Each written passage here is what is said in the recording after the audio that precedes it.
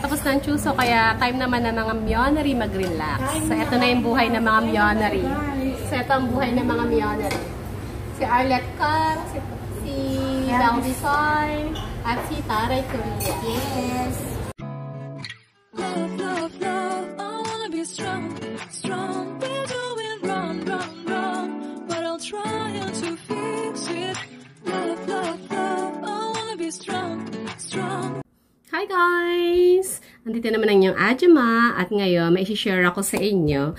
Kung napapansin nyo, nag-aayos ako, foundation. So habang nagkukwentuhan tayo, mag-aayos ako. Kasi magkikita kami ng mga friends ko ngayon.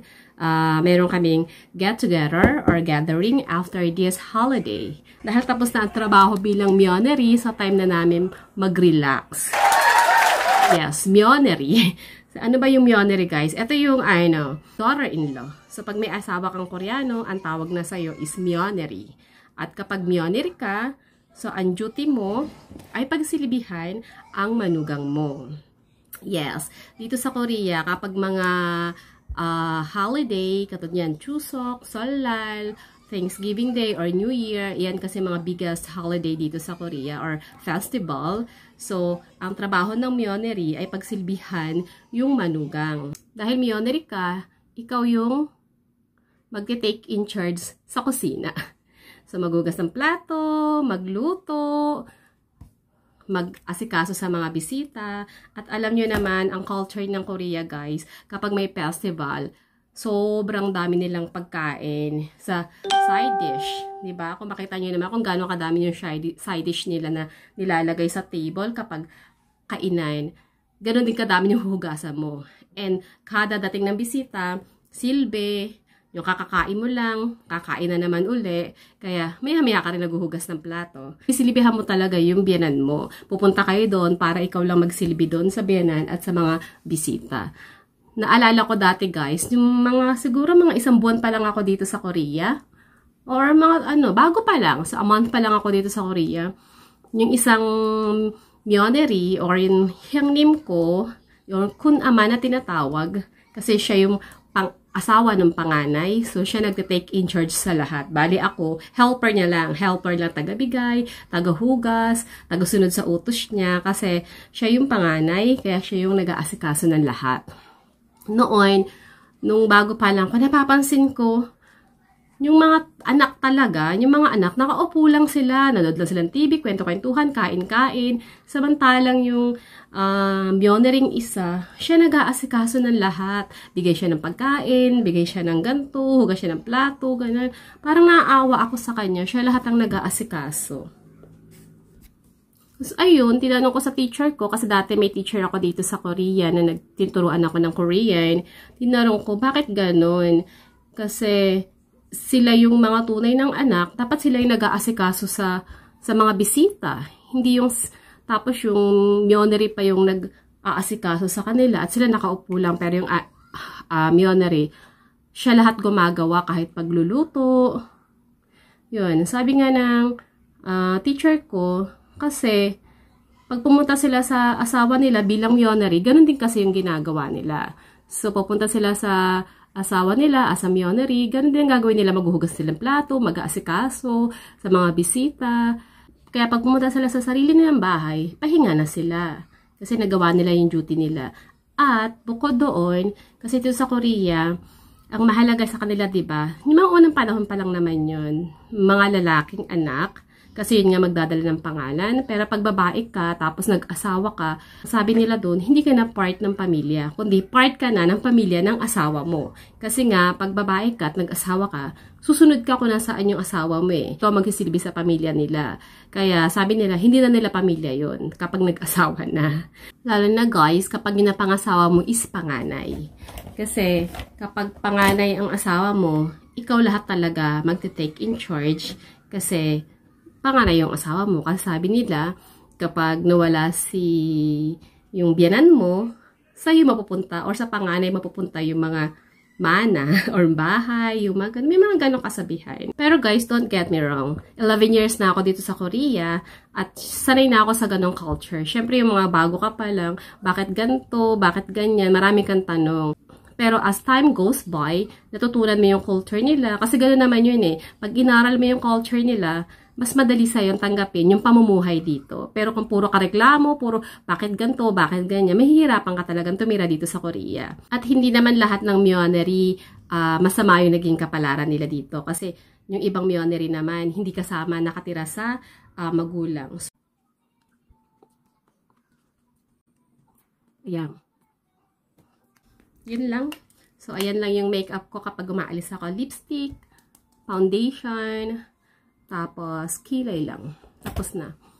Pero may mga swerte din naman. At isa ako doon sa mga swerte na nagkaroon ng biyanan, nagkaroon ng ah, sister-in-law at mga relatives. Kasi iniintindi nila ako. So, yun. Pag holiday, yun ang trabaho talaga ng, ng Myeoneri, magsilbi. So, ikaw magsisilbi sa binan mo. Lalo na kapag panganay yung napangasawa mo. Ayan, magkikita kita yung mga Myeoneri. Okay guys, so I think I'm ready. So, napakita ko yung aming gathering.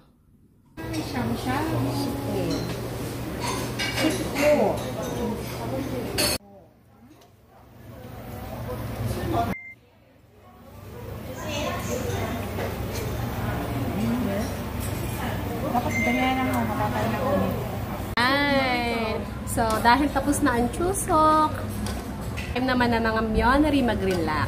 So, ito na yung buhay ng mga Myeoneri. So, ito ang buhay ng mga Myeoneri. Si Arlette Kang, si, si Bell Design, at si Taray Korea. Yes. Kamu, Pagtutulon. kamusta naman ang buhay Myeoneri? Eh? Taray Korea. Ay, Diyos ko po pineapple ba yan? Ngayon lang ang masasabi ko. Tingnan yung kamay ko, oh. Buti na lang nakaano ko. Nakasingsing na maganda pa. wow, yayamanin si Myeoneri. Pero, malaking Diyos ko. kita ah. Pero Diyos po, ang paghugas, hindi na uubusan. Ganun ba ang Myeoneri? Hugas lang ng plato? Ka- ako kasi, ang role ko talaga sa amin, kapag ganito yung chusok, ako yung tagagawa ng John, at saka yung tagahugas.